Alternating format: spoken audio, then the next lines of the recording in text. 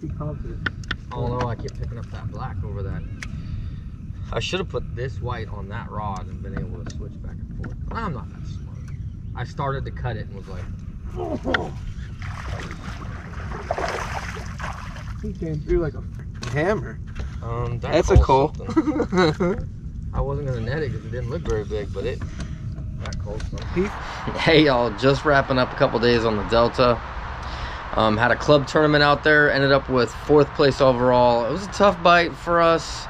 Um, managed to scrape some together, but uh, not as good as I'd like it to be. I think it's because we're kind of getting into that late summer, early fall transition. I mean, the the leaves are starting to drop. So, um, what did work best for us was underspin uh, going near the weed edges.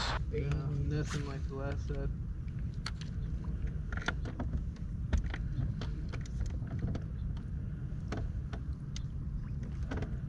Yeah?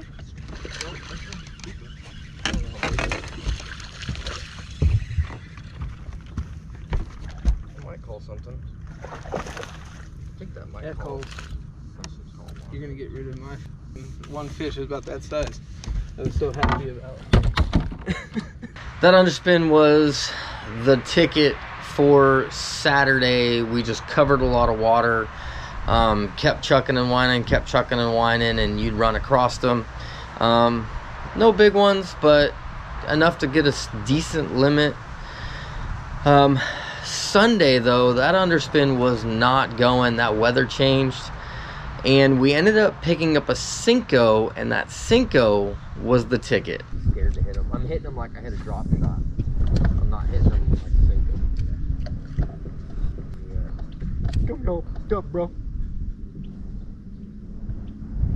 Can't believe I got one in the box. Yeah, you do. Even Steven now. His turn and he got him.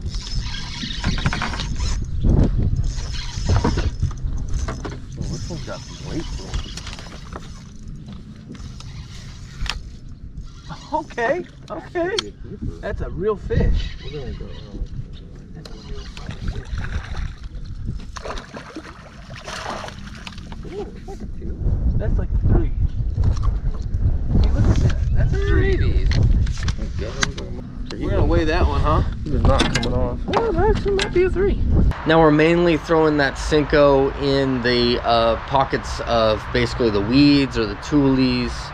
Um, or as you can see there, there's the uh, uh, the overgrowth on the water, and you were throwing up into that edges, and they were picking it up and swimming out to deeper water.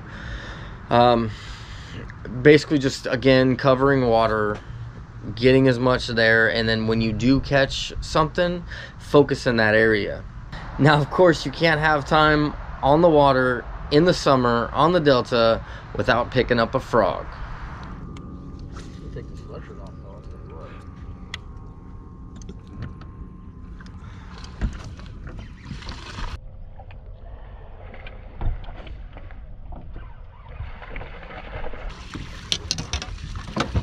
Don't worry about it.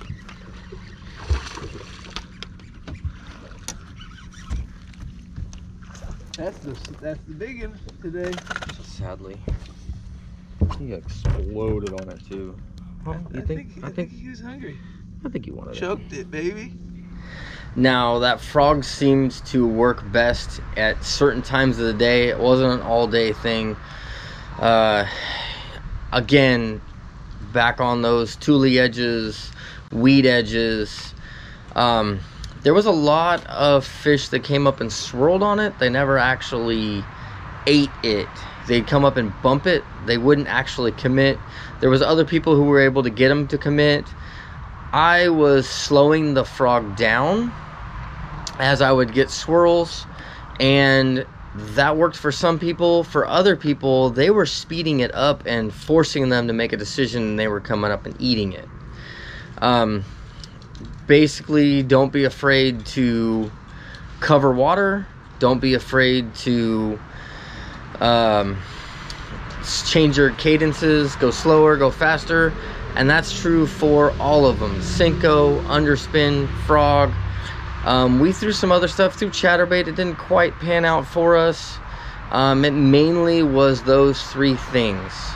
Um, so that water is still warm right now, but the nights are getting cooler. So I'm guessing we're starting to swing into that fall time. Um, I hope that helped you guys. If it does, let me know down below. Um, and until next time, I hope you get them.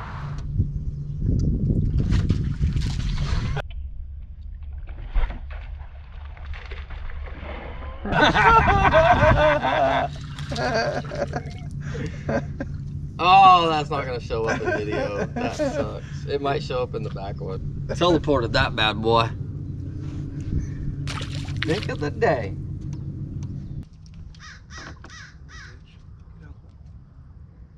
Oh.